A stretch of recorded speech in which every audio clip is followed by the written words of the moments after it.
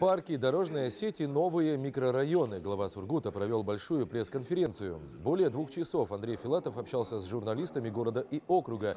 Основной вопрос касался дальнейшего развития Сургута.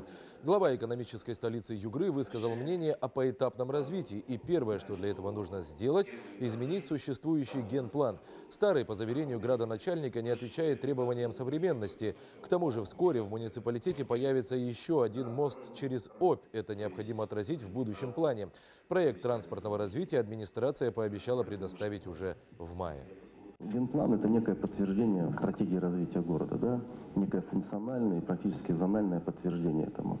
А, очень часто случается так, что нам постоянно переходим в пересмотр или в изменение генплана. Вот э, здесь пробежать быстрым шагом и сказать, завтра все, мы представим городу генплан, который нас точно устроит, а потом будем вносить туда постоянные коррективы, ну, не вариант. А при этом мы презентуем и расскажем о зональности или вообще о функциональном устройстве города.